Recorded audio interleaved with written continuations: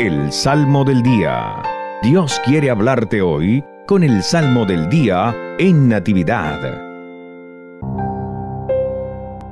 Salmo 35 Tú eres Señor la fuente de la vida.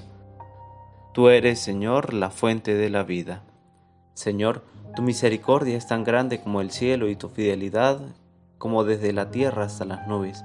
Más grande que las montañas es tu justicia y tus sentencias son como el océano inmenso. Tú eres, Señor, la fuente de la vida.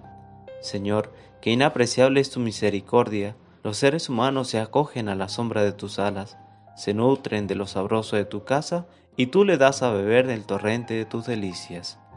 Tú eres, Señor, la fuente de la vida.